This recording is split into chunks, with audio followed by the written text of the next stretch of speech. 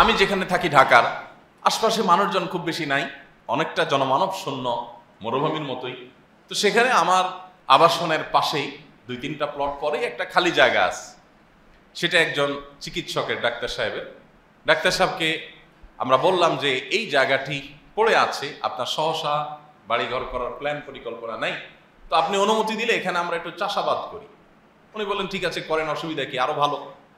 তো আমরা সেখানে বাহির থেকে মাটি এনে, গোবর এনে সেখানে ওইটাকে চাষাবাদের উপযোগী করে এবং কায়িক পরিশ্রম দিয়ে, শুধু আর্থিক অংশগ্রহণ না, কায়িক পরিশ্রম দিয়ে নিজেরা কোদাল দিয়ে একটি একটি করে কোপ দিয়ে মাটিগুলোকে প্রস্তুত করে সাথে লোকজন নিয়ে তারপর আমরা সেটাকে প্রস্তুত করেছি। এবং আমার সেই খেতে, আলহামদুলিল্লাহ, উনিশ আইটেমের সবজি আছে।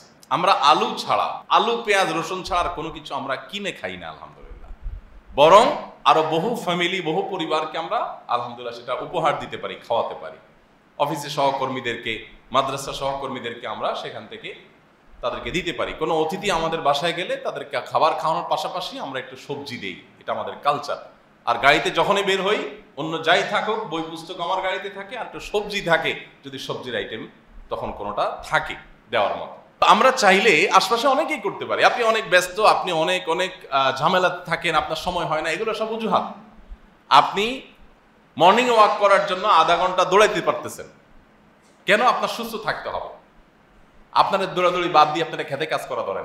এবং আপনি সিরিয়াসলি কোপাইতে থাকেন, ঘাস বাঁচতে থাকেন, আপনার যে পরিমাণ মুভমেন্ট হবে, আপনার ওই মর্নিং ওয়াকের জন্য দৌড়াদৌড়ি না করলেও চলবে। হাজার হাজার মানুষ পাওয়া যায়। আমি মর্নিং ওয়াক করাকে দোষের বলতেছি না। নবী করিম সাল্লাহ সকালে হাঁটতে বের হইতেন অনেক সময়, বিভিন্ন সময়। এটা খারাপ কিছু না। আমি সেটা বলছি না যেটা খারাপ। আমি বলছি যে আপনার সুস্থ থাকার উদ্দেশ্যে যে আপনি অনর্থক ধরুন আপনার ট্রেডমিলে আপনি দৌড়াচ্ছেন বা অন্য কোথাও দৌড়াচ্ছেন। অনর্থক এই জন্য বললাম যে এই পরিশ্রমটাই যদি আপনি একটা গাছ লাগান, একটু ফসল করেন, সেখানে দেন, তাহলে একের ভিতর অনেকগুলো হচ্ছে। আপনার ব্যায়াম হয়ে যাচ্ছে, আপনার ফসল উৎপাদন হচ্ছে, আর অনেক কিছু হচ্ছে। হ্যাঁ কারও কারও স্বাস্থ্যগত ত্রুটির কারণে ডাক্তার পরামর্শ দিয়েছেন, সেজন্য বিশেষভাবে তাকে ব্যায়াম করতে অভিন্ন কথা উনি করেন। কিন্তু আমি বলছি, অনেকেই চাইলে আমরা এটাকে একের ভিতরে তিন আমরা করতে পারি। আমাদের ছাদে আলহামদুলিল্লাহ প্রায় একশো ত্রিশ চল্লিশটা ড্রাম আছে। বেদানা থেকে নিয়ে, কামরাঙ্গা থেকে নিয়ে, ছবেদা থেকে নিয়ে, বিভিন্ন রকমের ফল, ফসল থেকে নিয়ে, বোম্বে মরিচ, সাধারণ মরিচ থেকে নিয়ে, থানকুনি পাতা পর্যন্ত অল্প স্বল্প না, পর্যাপ্ত আছে। প্রতিদিন থানকুনি পাতার ভর্তা খাইলেও শেষ হয় না। গেস্ট আসলে তাদেরকে আমরা থানকুনি পাতা, ঢাকা শহরের ছাদে এত থানকুনি পাতা। এবং আরও বিভিন্ন রকমের রং বেরঙের আপনার ফল, ফসল, পেয়ারা থেকে নিয়ে সব কিছু আলহামদুলিল্লাহ আমরা। এমনকি ক্যাপসিকাম পর্যন্ত আমরা লাগিয়েছি এবং ধরেছি আলহামদুলিল্লাহ। সময় দিতে হয়। প্রতিদিন এক ঘণ্টা, দেড় ঘণ্টা, দুই ঘণ্টা পরিবারের সমস্ত সদস্যদেরকে উদ্বুদ্ধ করতে হয়। আমি একটা কথা প্রায় বলি, আমরা যে কিশোর গ্যাং কালচারের সাথে সংগ্রাম করে চলেছি, আমাদের আইন শৃঙ্খলা রক্ষাকারী বাহিনী রীতিমতো গলদঘর্ম হচ্ছে, কোনোভাবে সামলানো যাচ্ছে না এই আপনার উঠতি বয়সের এই উচ্ছৃঙ্খল তরুণদেরকে। আমাদের যুবকরা অনেকে বিপথে চলে যাচ্ছে, খারাপ পথে চলে যাচ্ছে, মাদকে চলে যাচ্ছে, খুন খারাপিতে চলে যাচ্ছে, সন্ত্রাসে চলে যাচ্ছে, মাস্তানি করছে, সমাজটা বাস অযোগ্য হচ্ছে। আমি বলি আমাদের অন্য যত কার্যক্রম থাকে, বিশটা কার্যক্রমের সাথে এই একটি কার্যক্রম যদি প্রত্যেকটা পরিবার হাতে নেয় যে আমরা আমাদের পরিবার থেকে কিছু গাছ লাগাবো, কিছু ক্ষেত খামার করব, কিছু ফসলের কাজ করব এবং পরিবারের সমস্ত সদস্যদেরকে সাথে নিই। একবারে ছোট্ট সদস্যটাও সাথে থাকবে। সবাইকে সাথে নিয়ে আমরা একটা সুন্দর সবুজ অঞ্চল গড়ে তুলব। হতে পারে সেটা আমার ফ্ল্যাটের বারান্দাতেই। হতে পারে বেশ কিছু টব আমি সেখানে কিছু গাছ লাগিয়ে সেগুলোকে বড় করে তুললাম। আমার সাধ্যে যেটুকু আছে। এটাতে যেটা হবে, আমাদের বাচ্চারা, আমাদের তরুণরা, আমাদের ইয়াংরা, কিশোররা, শিশুরা, তারা প্রাণকে যত্ন করা শিখবে। একটা গাছ মানে একটা প্রাণ। প্রাণকে মায়া করতে শিখবে। প্রাণকে যত্ন করতে শিখবে, প্রাণের গোড়ায় পানি ঢালবে, এটাকে সতেজ করবে, এটার প্রতি মায়া হবে তার মনুষ্যত্ব জাগ্রত হবে। সে যখন প্রাণকে মায়া করবে, তখন প্রাণীকে হত্যা করতে তার হাত কাঁপার কথা। সে যখন প্রাণকে যত্ন করবে, তখন প্রাণীর প্রতি কষ্ট হতে পারে এরকম কোনো আচরণ করতে তার একটু দ্বিধা হওয়ার কথা। আমরা আমাদের বাচ্চাদের হাতে তুলে দেই খেলনার পিস্তল। আমরা বাচ্চাদের হাতে খুলে দিচ্ছি, আমি, আপনি, আমরা সবাই কম বেশি দিচ্ছি। আপনি কিছু খেলনা দিলেন সহনীয় মাত্রায়, কিন্তু তার বাইরে তাদেরকে এই জাতীয় অ্যাক্টিভিটিসে যদি রাখতে পারেন, তো বাচ্চাদের মধ্যে ভালো মানসিকতা তৈরি হতে পারে। কিন্তু সেটা করার কোনো নামগন্ধ আমাদের ম্যাক্সিমাম মানুষের নেই। আপনারা যারা দেশের বাইরে গেছেন, আপনারা জানেন, বিভিন্ন দেশে হোটেলগুলোতে গেলে, তাদের স্থাপনাগুলোতে গেলে দেখা যায় তারা গাছ, গাছের যত রকমের প্রদর্শন হতে পারে, এগুলো তারা করার চেষ্টা করে। যারা থাইল্যান্ডে গেছেন, জানেন যে তাদের দেশের ফল, ফসলের অনেক সুনাম সারা পৃথিবীতে, অনেক সুস্বাদু হয়, এটা হয়, সেটা হয়। তাদের হোটেলগুলোতে, বিভিন্ন বড় বড় স্থাপনাগুলোতে যারাই গিয়েছেন, তারা দেখেছেন প্রচুর পরিমাণ গাছের প্রদর্শন করার এক প্রচেষ্টা। কীভাবে গাছ প্রদর্শন করবে?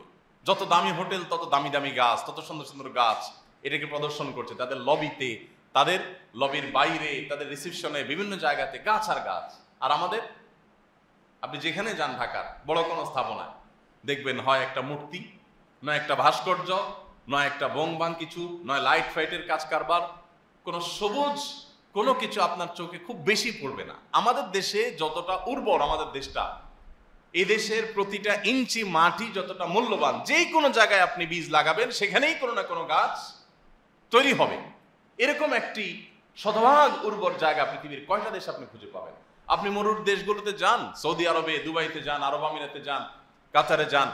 তারা সবুজ পরিবেশ গড়ে তোলার জন্য যেখানে শত শত হাজার কোটি টাকা বাজেট দিয়ে তারা সেগুলোকে টিকিয়ে রাখতে হচ্ছে। আপনার আমার আল্লাহ তালা এমন পরিবেশ দিয়েছেন যে আমরা বীজ ফেলে দিলেও গাছ হয়ে যাচ্ছে।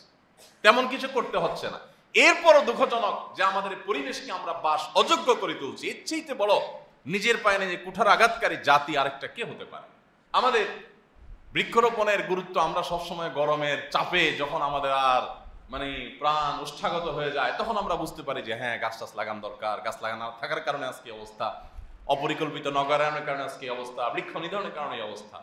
কিন্তু এই সময়টা চলে গেলে আমরা আবার যেই সেই হয়ে যাই। আলহামদুলিল্লাহ, আপনারা অনেকে ইতিমধ্যে শুনেছেন। আসন্ন ফাউন্ডেশন থেকে আমরা গত বছর এক লক্ষ গাছ লাগিয়েছি সারা দেশে, আলহামদুলিল্লাহ।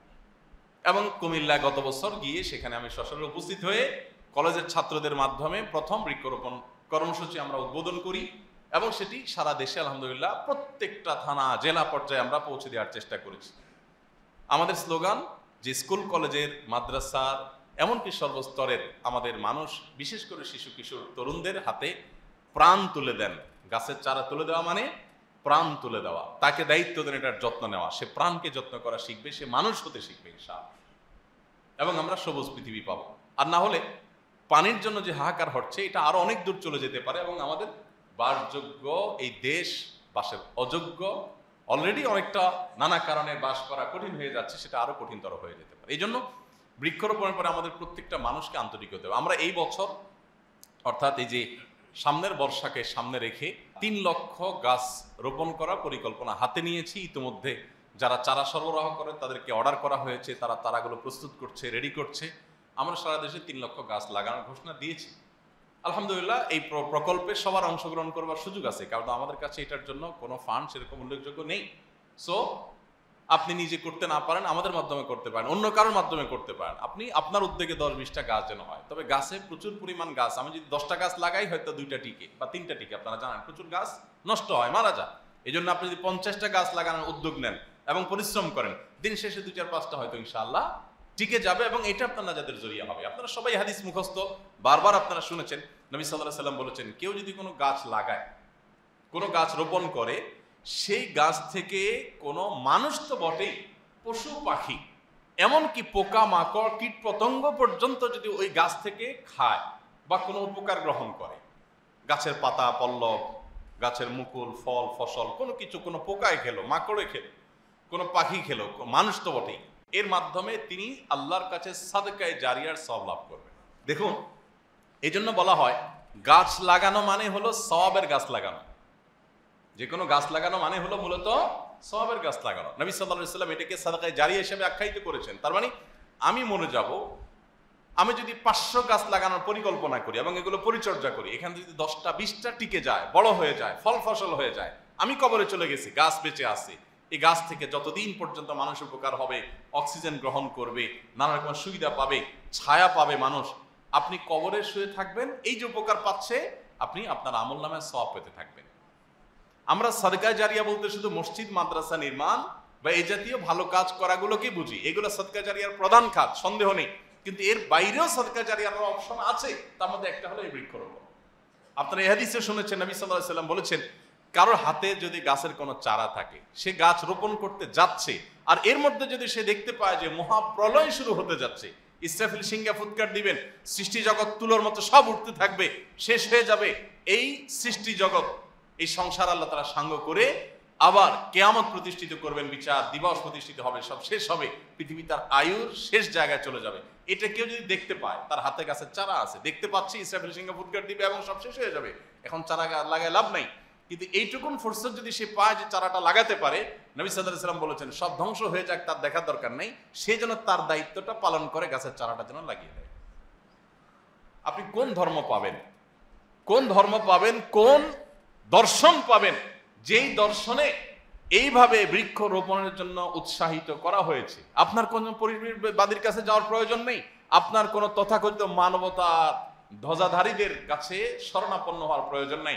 আপনি মুসলমান হলেই আপনি মানুষ হয়ে যাবেন। আপনি মানুষ হয়ে গেলে পৃথিবীটা সুন্দর হয়ে যাবে, আর কিছু লাগবে না।